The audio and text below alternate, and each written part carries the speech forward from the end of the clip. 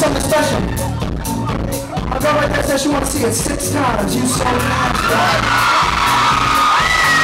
Fellas, I'm sorry, bring bring your cameras out you guys are going to want to get this. We're going to do something you have never, ever seen before. Stretch, stretch.